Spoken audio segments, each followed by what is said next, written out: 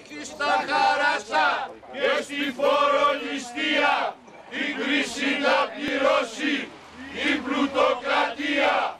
Την έντονη αντίδρασή τους στην επιβολή του τέλους ακινήτων μέσω των λογαριασμών της ΔΕΗ και την υποχρεωτική καταβολή του, καθώς σε διαφορετική περίπτωση θα γίνουν διακοπές παροχών ρεύματος, εξέφρασαν για μία ακόμη φορά τα μέλη του Πανεργατικού Αγωνιστικού Μετόπου και στην Καλαμάτα, που προχώρησαν ξανά σε συμβολική κατάληψη των γραφείων της ΔΕΗ. Πάσο Καρατζαφέρη, Νέα Δημοκρατία, πιστεύουν το λαό για την πλουτοκρατία. Να ακυρώσουμε την προσπάθεια που γίνεται εκβιαστικά, ύπουλα και τρομοκρατικά να πληρώσει ο λαός τα χαράτσα τους, να πληρώσει ο λαός την κρίση τους, να πληρώσει ο λαός τα αδιεξοδά του.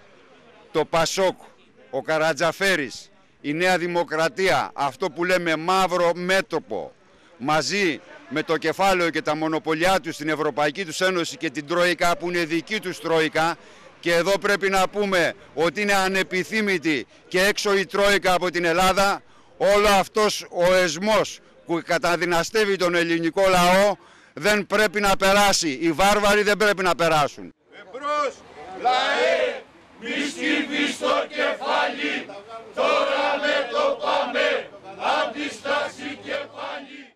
Είμαστε εδώ, αντιστοιχόμαστε με το πάμε μπροστά με τα ταξικά σωματεία, με τις λαϊκές επιτροπές των γειτονιών, έτσι ώστε να μπορέσουμε να τους σταματήσουμε. Μέχρι στιγμής τα έχουμε καταφέρει.